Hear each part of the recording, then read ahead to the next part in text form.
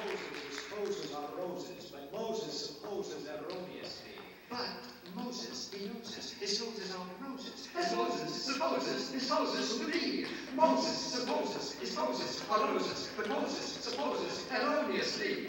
A Moses is a Moses, a rose is a rose, a toes is a toes. Who did